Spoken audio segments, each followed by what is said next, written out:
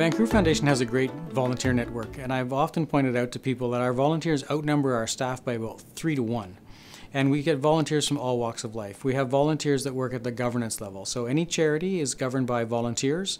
They're the board of directors. They're the ones that set the strategy, set the overall direction.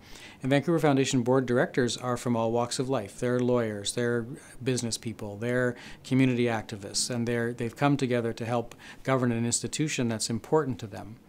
Other way we use volunteers, and this is really important for community foundations, is to review our grants. As a community foundation, we draw our uh, project ideas from community, and those then are reviewed by community members who make recommendations to our board in terms of what we should fund.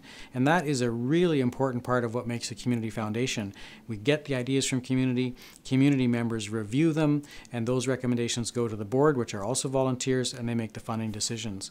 So the staff really depend and in fact express our work through our volunteers.